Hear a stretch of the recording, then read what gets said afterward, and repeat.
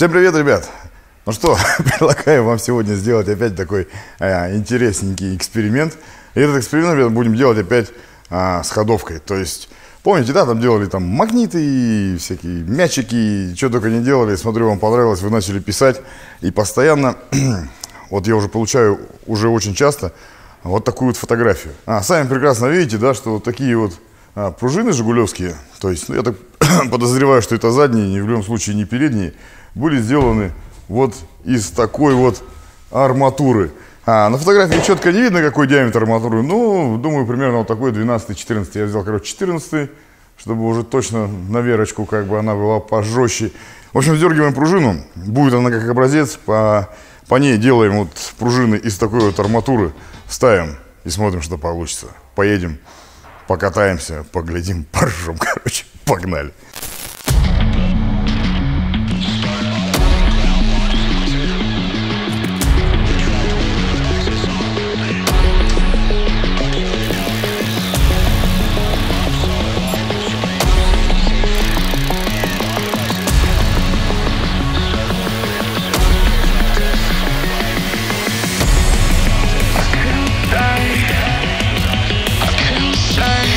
Вот у нас образцы, которые здесь стояли. Вот я снял их.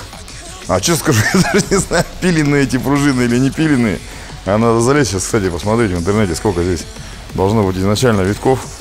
Может быть, они такие и были. Честно, я просто уже не помню. Мы постоянно их пилим, варим, как никак они выглядят в оригинале, фиг его знает. Короче, ну ладно, образец есть, есть, можно, в принципе, сделать немножко а, шаг побольше, ну, чтобы она была повыше количество витков, я думаю, надо сделать такое же. В общем, сейчас все это дело гнем. Гнуть будем а, арматуру, на самом деле, очень тяжело загнуть. И здесь сейчас звонил, а, разговаривал с токарями. Я говорю, давайте, ну, как подмагните маленько в этом деле. Я говорю, ну что, на станке-то у вас большие станки. А, короче, нифига. Все что-то боятся, что боятся, не знаю. Поэтому будем, наверное, греть и гнуть, потому что руками просто так ее фиг согнешь. А ну, в любом случае, это углеродистая сталь, даже если подогреешь, ничего страшного с ней не произойдет, потому что тем более разогревать мы ее там до такого алого цвета шибко не собираемся. Поэтому давайте все это дело загнем, поставим. Ну, посмотрим. Поехали.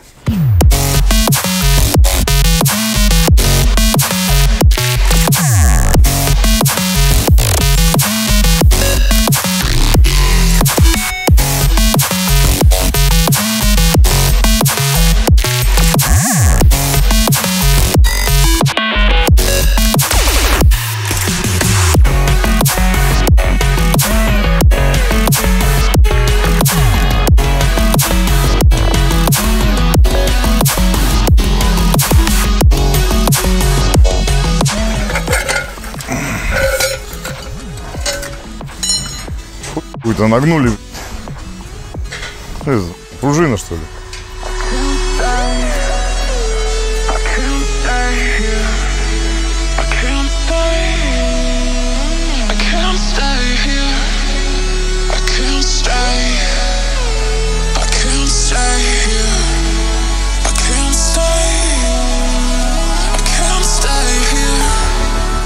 В общем, ребят, первую пружину мы накрутили честно, каким-то таким особым, никому неизвестным, короче, способом, чисто на глаз, так сказать. А, хотя говорят, что глаз самый точный инструмент, да, все вот прямые, да, все стреляешь четко. А, но когда надо стрельнуть пружину, почему-то как-то не получилось. Ну, видели, мы просто тут в блок компрессора, короче, зажимаем трубу, чтобы она не крутилась. Ну и, соответственно, ну, блин, не вертикаль, да и... Я думаю, ладно, одна пойдет, вторую разметил, должно быть все четненько. Ну, мел он не сгорает при нагревании, в любом случае маркеров нету, да, маркер горит. Э, мел уже показался за многие годы просто обалденно, поэтому сейчас аккуратненько пружинку опять сниму. А, все размечено. Прожгу также отверстие начальное, где будем загибать. И все, и поехали уже по мелу накручивать. Я думаю, в этот раз получится намного ровнее и намного приятнее радовать будет глаз.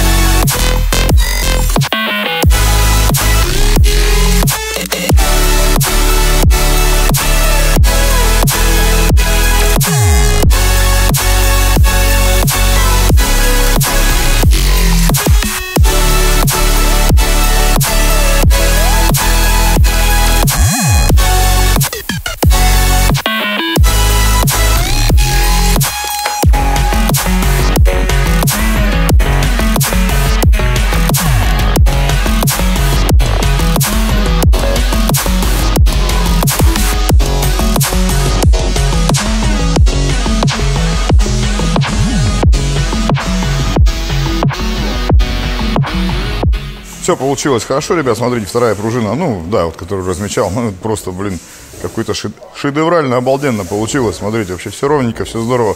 А не то, что вот это, которое, честно, а, делал специально вот так, чтобы, да, как получится. Поэтому так и сделали одну, короче, как получилось, но вторую четенько. Четенько. Так, так, оп. Отлично. Еще капелек. Все, пойдет.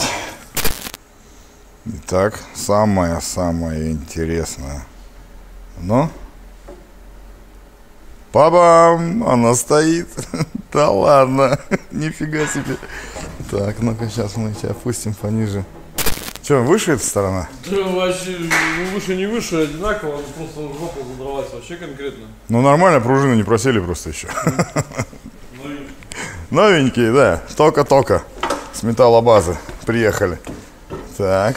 Ну а прежде чем я поеду кататься и испытывать наши пружины из арматуры, хотел бы подарить одному из вас вот такой вот видеорегистратор. Ведь умеют же наши русские инженеры из компании Адвокам а, придумывать вот такие годные автомобильные регистраторы. Вот, например, русский народный Адвокам FD Black 2. Самый лучший бюджетный видеорегистратор 2019 года. Стоит менее 5000 рублей, а снимает как импортные автореги ценой в 10 тысяч. Просто отличная картинка при любом освещении. А в июне-июле в честь открытия официального интернет-магазина скидка 20%, а также 2 года гарантии на все видеорегистраторы и бесплатная доставка по всей России и СНГ. Цены от 3000 рублей. В общем, ребят, ссылочки в описании. Ну а как стать счастливым обладателем вот такого видеорегистратора, я вам расскажу в конце ролика. Так.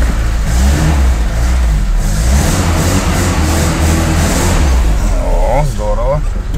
Едем. Дальше не обязательно. Прямо можно прямо.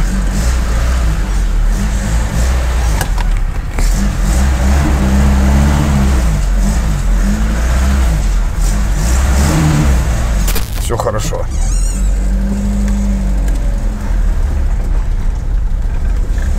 Ну-ка. Ой, что за скрип? О, ну, там, ну, действительно жесткие. Они просто жесткие. Как будто поставили от Нивы. О, всем спасибо. Едем.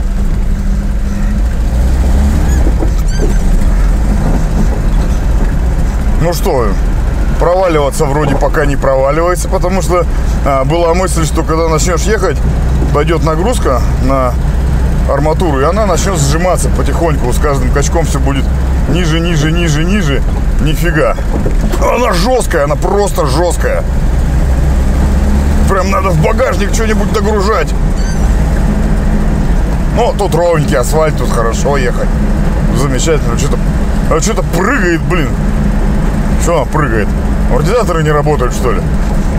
Хм, вообще прям нормальненько. Так, эксперимент уже...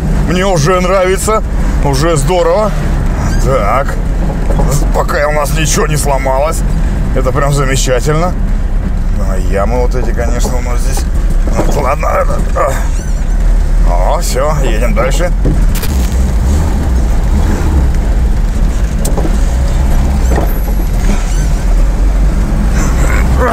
И не качается она отсюда, не раскачивается. Да, 14 арматура. Что-то я, наверное, жесканул, надо было 12 брать. Хотя, а с другой стороны, 12 бы просто сложилось бы и все. А это вот работает. Прям замечательно. Опа! Кочки, не кочки, мне пофигу. У меня пружины стоят новые.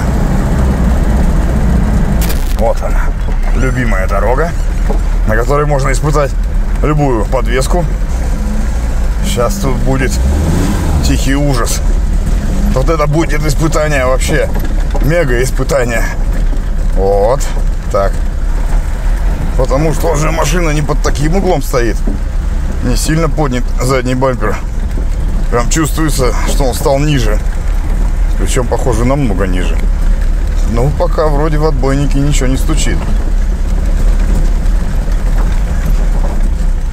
Так. Едем. Но если они выживут эту поездку, и они, это какое-то чудо будет. Эти, эти, эти, ать, а, через все камни, через все запустил прям. Так. Ой, ой, ой, что-то впереди рычагами. Ой, что-то там с рычагами. Ой-ой-ой, ой-ой-ой, ой-ой-ой. Что случилось? Что у нас случилось? Я не понимаю, там, похоже, что-то с пружинами сзади происходит. Все. Все, похоже, они вообще сложились. Что-то подсказывает мне, что все. Наш эксперимент на этом сейчас должен закончиться. Ну, давай, ну поднимись наверх. Ну, пожалуйста, ну, не теряй ничего пока. О, о, все, приехали.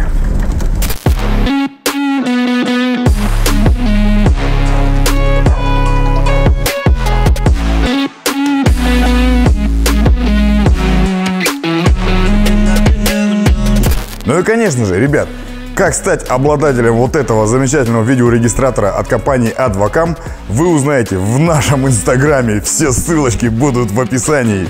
Действуйте. Ну вот, в принципе, как и предполагалось, а, с правой стороны у нас стояла пружина, которая, ну, была, блин, ничем практически не отличить от заводской.